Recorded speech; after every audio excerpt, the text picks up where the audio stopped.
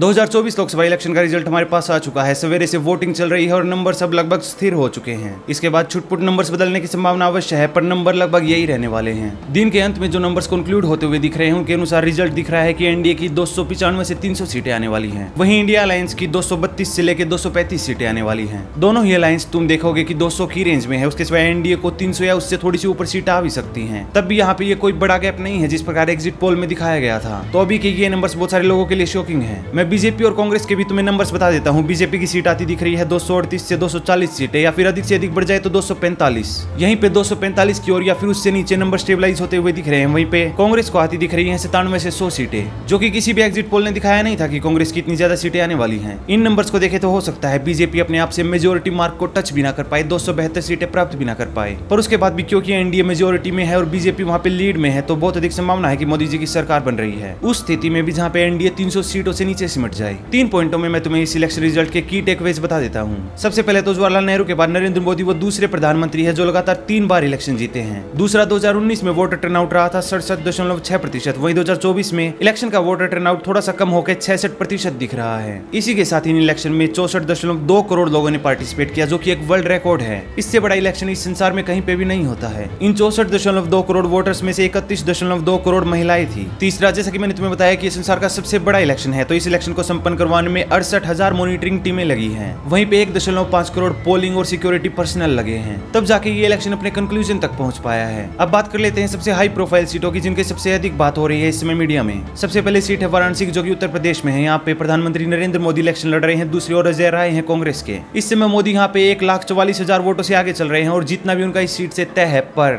जीत का मार्जिन यहाँ पे कम हो जाएगा पहले की तुलना में। बीजेपी वही सोच रही थी कि उस मार्जिन को बढ़ाएगी। दूसरी सीट उत्तर प्रदेश से है रायबरेली की। यहाँ पे राहुल गांधी इलेक्शन लड़ रहे हैं कांग्रेस की ओर से। दूसरी ओर दिनेश प्रताप सिंह हैं बीजेपी वाले। इस सीट को मीडिया गांधी परिवार की परंपरागत सीट बताती है क्योंकि यहाँ पे गांधी परिवार लूज नहीं करता है। हालाँकि पिछले कुछ इलेक्शन से गांधी परिवार का यहाँ पे वोट शेयर कम हुआ है, लेकिन वो अभी भी सीट को मेंटेन किए हुए हैं। इस सीट पे भी राहुल गांधी आगे हैं तीन लाख बारह हज़ार वोटों से। वहीं पे दूसरी सीट जहाँ पे राहुल गांधी इलेक्शन लड़ रहे हैं, वो है वायनाड की सीट केरला में। यहाँ पे राहुल गांधी का मुकाबला हो रहा है एनी राजा से, जो की सीपीआई के हैं। इस सीट पे माइनॉरिटी कम्युनिटीज के अच्छे नंबर है क्रिश्चियंस के, मुस्लिम्स के अच्छे नंबर है। इसलिए इस सीट पे भी राहुल गांधी आसानी से जीत रहा है। इस समय तीन लाख चालीस हज़ार वोट से आगे है। अगली सीट है अमेठी उत्तर प्रदेश। ये वो सीट है जहाँ पे स्मृति ईरानी ने राहुल गांधी को हराया था। पर वो पिछली बार की कहानी है। इस समय स्मृति ईरानी जो की बीजेपी से है, उसका मुकाबला हो रहा है किशोरी लाल शर्मा से, जो की कांग्रेस से है। और किशोरी लाल इस समय आगे चल रहा है इस सीट पे एक लाख चार हज़ार वोटों से। अगली सीट है मथुरा की। यहाँ पे एक्ट्रेस हेमा मालिनी है बीजेपी की ओर से, मुकेश धांगड़ है कांग्रेस की ओर से, चौधरी सुरेश सिंह है बीएसपी की ओर से। पिछले दो इलेक्शन से हेमा मालिनी यहाँ से जीतती आ रही है और इस बार भी, इस समय भी हेमा मालिनी आगे चल रही है दो लाख सैंतीस हज़ार वोटों से। गोरखपुर की सीट पे इलेक्शन लड़ रहे हैं एक्टर रवि किशन, जो की बीजेपी की ओर से उनका मुकाबला हो रहा है, काजल निषाद की ओर से, जो की समाजवादी पार्टी की है। इस सीट पे रवि किशन आगे चल रहे हैं इकसठ हज़ार वोटों से। अगली सीट है सुल्तानपुर की, यहाँ पे इनकम्बेंट लीडर है मेनका गांधी, जो की समय एमपी है। उनका मुकाबला चल रहा है राम भोल निषाद से, जो की समाजवादी पार्टी से है। इस सीट पे राम भोल निषाद आगे चल रहे हैं बाईस हज़ार वोटों से। अगली सीट है कन्नौज की, यहाँ पे इस समय एमपी है सुब्रात पाठक, जो की बीजेपी से है। उनका मुकाबला चल रहा है अखिलेश यादव से, जो की चीफ है समाजवादी पार्टी के। इस सीट पे अखिलेश यादव इस समय आगे चल रहे हैं एक लाख पाँच हज़ार वोटों से। गांधीनगर, गुजरात की वो सीट है, जहाँ पे भारत के गृह मंत्री अमित शाह इलेक्शन लड़ रहे हैं। उनके प्रतिद्वंदी है सोनल पाटिल, जो की कांग्रेस से है। इस समय अमित शाह आगे चल रहे हैं छह लाख चौहत्तर हज़ार वोटों से। अगली सीट है कोयम्बटोर तमिलनाडु। यहाँ पे इस समय गणपत पी राजकुमार,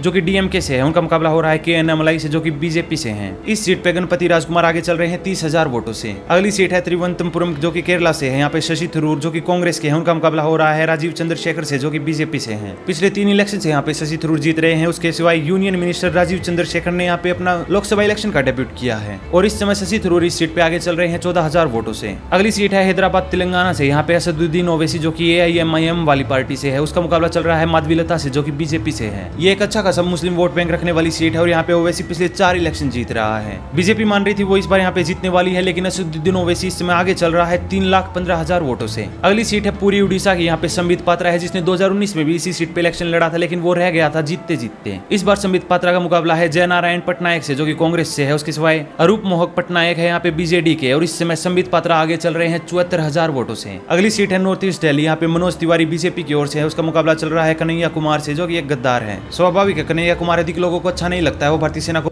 तारी बताता है और जो लोग भारत के विरुद्ध नारे लगाते हैं, उनका वो परम मित्र है। तो कन्हैया कुमार की यहाँ पे हार बरकरार है, क्योंकि इस सीट पे लोगों को भारत से प्यार है। मनोज तिवारी यहाँ पे आगे चल रहा है, एक लाख चौवालीस हज़ार वोटों से। इससे अगली सीट है मंडी की हिमाचल प्रदेश में। यहाँ पे कंगना रनौत बीजेपी की ओर से इलेक्शन लड़ रही है, जो की एक एक्ट्रेस है। कंगना का यहाँ पे मुकाबला है विक्रमादित्य सिंह से, जो की कांग्रेस की ओर से है, और इस समय कंगना इकहत्तर हज़ार वोटों से आगे चल रही है। अगली सीट है हमीरपुर की हिमाचल प्रदेश से ही। अनुराग ठाकुर वहाँ पे बीजेपी की ओर से लड़ रहे हैं, जो की यूनियन मिनिस्टर है। उनका मुकाबला यहाँ पे कांग्रेस के सतपाल राय रायजादा के साथ है। पिछले तीन इलेक्शन से यहाँ पे अनुराग ठाकुर जीत रहे हैं। और इस समय भी अनुराग ठाकुर आगे चल रहे हैं एक लाख बाईस हज़ार वोटों से। अगली सीट है खडूर साहिब पंजाब से और यहाँ पे एक खालिस्तानी इलेक्शन जीत रहा है। खालिस्तानी अमृतपाल सिंह, तुम्हें याद होगा, उसका सपना है कि पंजाब को तोड़ के वहाँ पे खालिस्तान देश बना दिया जाए। इस सीट पे अमृतपाल सिंह इंडिपेंडेंट इलेक्शन लड़ रहा है। उसका मुकाबला चल रहा है कुलबीर सिंह जीरा से, जो की कांग्रेस से है। लेकिन इस समय में तुम्हें बता दो, अमृतपाल सिंह आगे चल रहा है एक लाख पचास हज़ार वोटों से। अगली सीट है राजगढ़ की मध्य प्रदेश से। यहाँ पे दिग्विजय सिंह कांग्रेस से है। उसका मुकाबला चल रहा है रोडमल नागर से, जो की बीजेपी से है। ये पहले भी बीजेपी की सीट थी और यहाँ पे बीजेपी का प्रत्याशी अब भी नब्बे हज़ार वोटों से आगे चल रहा है। अगली सीट है कृष्णानगर, पश्चिम बंगाल से। यहाँ पे महुआ मोहित्रा टीएमसी की है। उसका मुकाबला चल रहा है अमृता रॉय बीजेपी से। ये सीट लगभग टीएमसी का गढ़ है। महुआ मोहित्रा यहाँ की करंट एमपी है। और इस समय पे भी महुआ मोहित्रा आगे चल रही है चौवन हज़ार वोटों से। अगली सीट नई दिल्ली की है। सुषमा स्वराज की बेटी बांसुरी स्वराज बीजेपी की ओर से यहाँ पे इलेक्शन लड़ रही है। उसकी प्रतिद्वंदी है सोमनाथ भारती आप से। दो हज़ार उन्नीस में ये सीट बीजेपी की मीनाक्षी लेखी ने जीती थी और इस समय बांसुरी स्वराज आगे चल रही है पचास हज़ार वोटों से। अगली सीट है बेंगलोर, साउथ कर्नाटक। यहाँ पे इस समय एमपी है तेजस्वी सूर्या, जो की बीजेपी से है। उसकी प्रतिद्वंदी है सोमव्या रेड्डी, जो की कांग्रेस से है। और इस सीट पे भी तेजस्वी यादव इस समय आगे चल रहा है। अगली सीट है रोहतक, हरियाणा की, जहाँ पे इस समय बीजेपी का एमपी है अरविंद कुमार शर्मा। उसका मुकाबला है दीपेंद्र सिंह हुड्डा से। यहाँ पे बीजेपी जब 2019 में जीती थी तो वोट्स के बीच में गैप बहुत कम था।